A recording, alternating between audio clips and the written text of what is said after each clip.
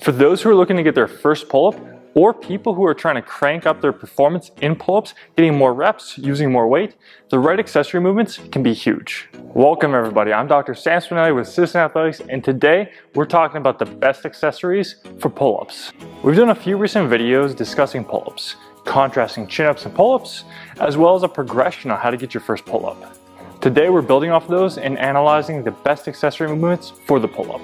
We dug into the research, explored tons of studies, analyzing the determinants of success for pull-ups, what muscles were utilized, and then what exercises were best for those muscles in regards to pull-ups. So let's get into it. A person's success with pull-ups is heavily dependent on their muscle mass. The pull-up utilizes a lot of muscles across their upper body and trunk.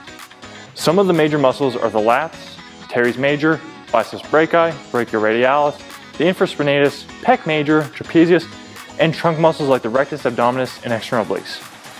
So essentially, it utilizes a ton of upper body pulling and trunk muscles. Pretty much everyone that you can name. Performing pull-ups and their derivatives will do a good job of challenging these muscles, but we can incorporate some additional movements to help build up even more volume and get them even stronger. Usually when people start thinking of accessory movements for the pull-up, one of the first things that jumps to their mind is the lat pull down. This seems reasonable, it looks pretty similar, and we can easily scale the weight, making it more accommodating than the standard pull-up. However, we've had numerous studies emerge showing that the strength in the lat pull-down doesn't directly correlate to pull-up performance. This might seem weird to people, but when we look at studies analyzing the comparison of activation of different muscles in the pull-up and seated lat pull-down, it starts to make sense. For instance, while the lat pull-down does have a similar activation of some of the back muscles, it doesn't challenge the midsection, particularly the abdominal muscles, like the pull-up.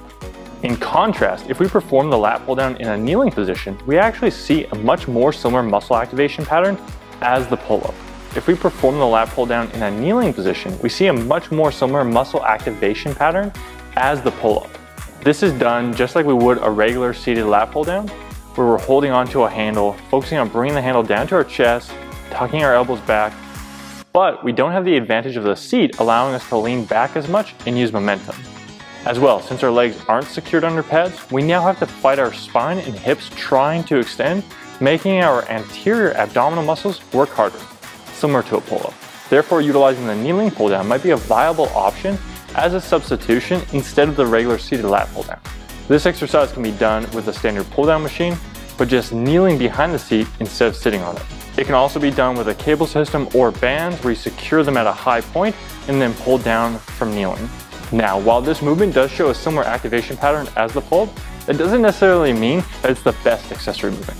Since you're likely already doing pull-ups or variations of them, instead of just repeating the same pattern over and over again, what we can do instead is utilize exercises that are more targeted to address muscles that are very important for the pull-up.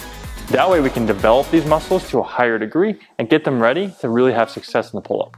What we want to do is pick one or two movements for each of these and then implement them in our program after a pull-up work. In our video on how to get your first pull-up, we outlined the basics of building a program dedicated to pull-ups. So if you want to refer back to that, we'll put a link in the description box.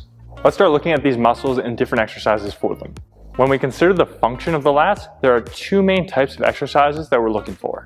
A shoulder extension based exercise and a shoulder adduction based exercise. Since you should be doing pull-ups, which will be providing a certain type of stress to the lats, we can pick movements for these patterns that complement this and don't conflict. For instance, a close grip row with a slight lean back is an excellent option to utilize given the peak challenge and angle we're utilizing the lats to work through for shoulder extension. Similarly, a kneeling side bent lat pull-in is a good option since we can work the lats one at a time and really emphasize an adduction pattern. What's also great about it is that since it's a unilateral exercise, we can more easily focus on squeezing each lat one at a time and utilizing a mind-muscle connection to maximize lat activation. We actually have a study showing that with deliberate and directed attention, you can have increased activation from your lats. Now we can move on to the biceps brachii and brachioradialis. Most people probably know the biceps as the elbow flexors. However, the brachioradialis is also important in this action. Performing the standard bicep curl shows good activation of both these muscles.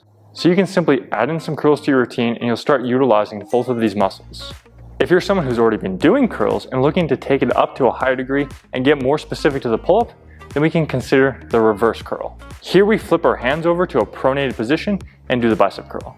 This has been shown to keep a relatively similar activation level of the biceps, but significantly increases the activation of the brachioradialis. Since we perform pull-ups with a similar overhand grip, it makes sense to do some of our work like this to ensure we build up the specific musculature for that pattern. If you're doing bicep work two days a week, you could do one day with palms up and one day with palms down, and that way you hit both. As we transition to the infraspinatus, Townsend et al. identified the prone shoulder horizontal abduction being a great exercise to get high activation out of it. By simply rotating your shoulder into an externally rotated position, we get even higher activation during this movement, which is a huge bonus. This exercise in particular is a solid choice for an accessory movement for the pull-up since it not only shows a high activation of the infraspinatus, but it also shows good activation of the middle delt and mid trapezius, both of which are really important for the pull-up. Now, if we stick with the same exercise, but raise our arm up a bit further to about 120 degrees of shoulder abduction, we can really challenge our lower trapezius. Studies from Ekstrom and Reinold have reported this being one of the best exercises for lower trap activation.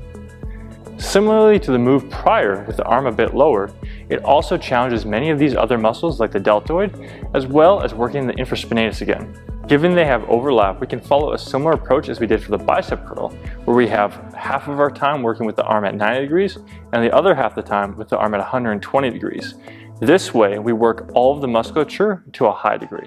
For the rectus abdominis and the external obliques, performing some movement like a hanging knee raise or hanging leg raise is a great choice. By tucking our knees to our chest or our legs up to the roof, we have to posteriorly tilt our pelvis and flex our spine against gravity. This is heavily done by our external obliques and rectus abdominis. If you look at the pull-up, as we go up, these muscles are doing this action isometrically, resisting being pulled into extension. The knee raise is a bit easier of the two options, so for those who aren't quite as strong in the midsection, start there. For those who are stronger, go with the leg raise and get those feet to the roof. Lastly, this gets us working on our hand grip strength, which is very important for pull-ups.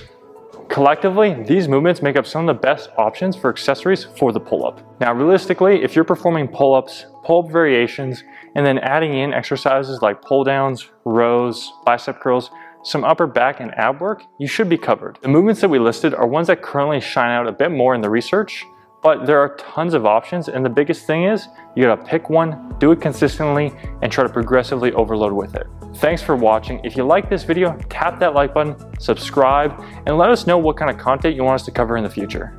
Thanks.